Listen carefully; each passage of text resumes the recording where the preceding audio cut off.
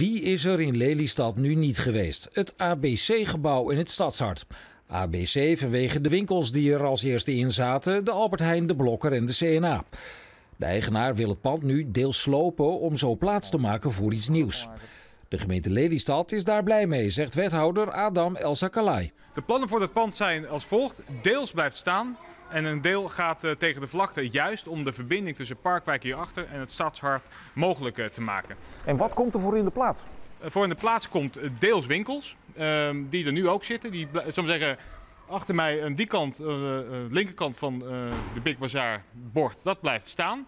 Uh, en deze kant, dat gaat uh, tegen de vlakte. Dat wordt een parkeerterrein. En een mooie loop van Parkwijk naar het stadshart toe. En aan de andere kant, eigenlijk achter u, daar worden ook deels winkels en 250 woningen. Wat ook niet onbelangrijk is als toevoeging in het stadshart. De voorgenomen sloop betekent het einde van een kenmerkend pand voor Lelystad. De meningen op straat zijn verdeeld. Ik denk dat het goed is dat er gewoon vernieuwing komt. Maar waar ik een beetje bang voor ben, is dat alle winkels die er nog omheen zitten, die, die panden blijven allemaal leeg staan. Dus ik ben benieuwd of die panden wel uh, voorkomen. ABC-pand gaat plat, vind je ja. ervan? Ja, vreselijk. Vreselijk? Ja, nee, ik vind het, ja, het is gewoon een mooi pand hoor bij Lelystad. Dus ja, ik vind niet dat het zomaar weggehaald moet worden. Ik denk dat het een verstandig besluit is, want als een gebouw geen functie meer heeft, dan moet je het toch maar uh, uh, plat gooien zou ik zeggen. Zou ik slopen een andere invulling geven en maak er een mooie foto van voor in een fotoboek. En dan kun je er altijd nog naar kijken op een uh, troosteloze zondagmiddag of uh, zo. Maar ik vind het wel verstandig. Ik vind het jammer. Het is een beetje ook een uh, sentiment. Vroeger kon je daar lekker boven lekker eten, ABC-corner en zo. Dat was altijd gezellig. Ja, dat is natuurlijk allemaal weg, dus ik begrijp ook wel dat er soms een keer een vernieuwing moet komen. Dus ja. De plannen voor het ABC-gebouw komen van de eigenaar en die stapte daarmee naar de gemeente. De initiatiefnemers die hebben, die hebben er veel zin in. Die hebben ook met ons aangegeven, we willen er ook wel vaart achter, uh, achter zetten. Uh, nou, laten we eerst kijken of we inderdaad tot een goede overeenkomst kunnen, kunnen komen. En daarvan is wel de verwachting dat we dat uh, ja, goed, rond de jaarwisseling zo'n beetje wel, ja, dat daar heel veel meer zicht op is. In het pand zitten nu nog de winkels van Albert Heijn, Big Bazaar, Gal en Gal en CNA.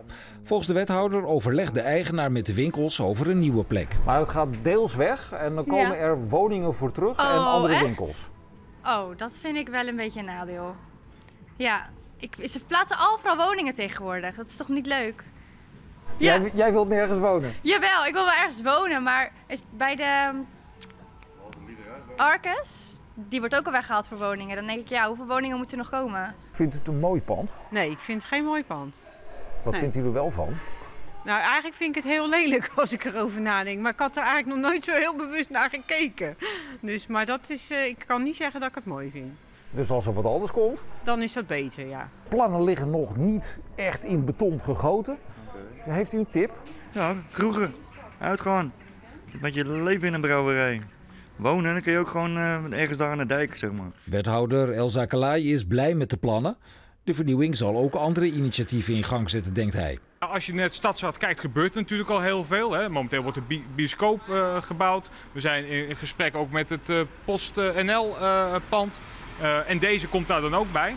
En dan zal je vaak zien inderdaad dat ja, zwaan kleeft aan. Hè? Dus op het moment dat er wat gebeurt, dat ook daadwerkelijk uh, reuring uh, komt. En ook dat het heel erg goed is dat er ook weer woningen toegevoegd worden in het centrum van Lelystad. Ja, wat ook bijdraagt aan de totale ambitie die we hier hebben. Dus al met al kan ik alleen maar zeggen dat als dit goed van de grond komt, en daar heb ik eigenlijk wel alle vertrouwen in, dat we als Lelystad ongelooflijk blij kunnen zijn.